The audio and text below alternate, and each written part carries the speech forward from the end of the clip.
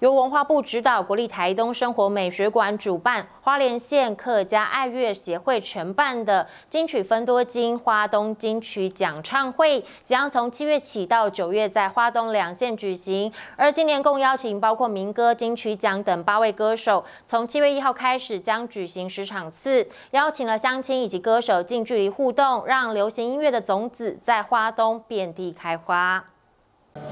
这一次的讲唱活动，七月一号将从台东池上的大波池，由入围金曲奖花莲客家创作歌手徐世慧进行讲唱。国立台东生活美学馆长江宇表示，今年共邀请了八位歌手，从校园民歌到金曲奖入围以及获奖歌手，内容相当精彩。那这八位呢，分别是啊徐世慧。啊，还有罗文玉啊，这些都是属于客家的啊金曲入围跟得奖的。还有王洪恩哈，这个原住民的歌手，那今年得到啊很多入围哈。那七月一号他会去参加这个金曲的颁奖典礼。还有陈威选是来自于马来西亚的非常创作型的歌手。还有吴思爱，吴思爱是原住民的啊歌手。还有我们情歌王子王瑞宇。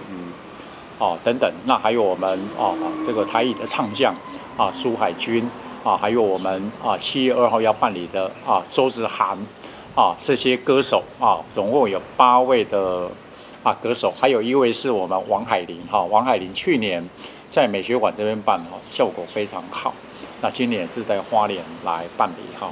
华东地区拥有多元族群文化，音乐创作能量非常丰富，也别具特色。台东生活美学馆长江瑜就希望能够透过讲唱会的方式，让乡亲与音乐人近距离的互动，了解歌手创作专辑的切身经验以及感想，更期盼可以带动更多爱好音乐的青年投入相关领域，让华东音乐产业向全国甚至全世界发光发热。我们去年啊啊办机。场，包括朱海军的，包括王海林的，我觉得都非常的感动，非常的成功。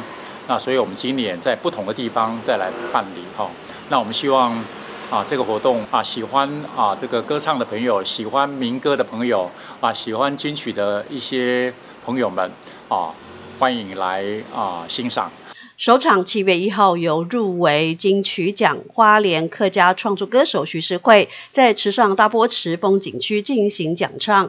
七月二号是由周子涵在台东市南丰铁花站。七月八号陈威全在花莲市好客文化会馆。七月九号王洪恩在花莲市祥岭电台。八月五号吴思爱在台东市南丰铁花站。八月六号罗文玉在池上大波池风景区。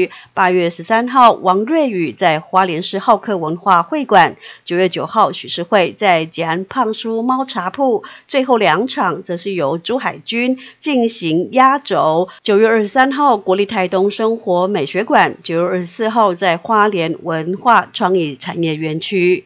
记者刘明胜综合报道。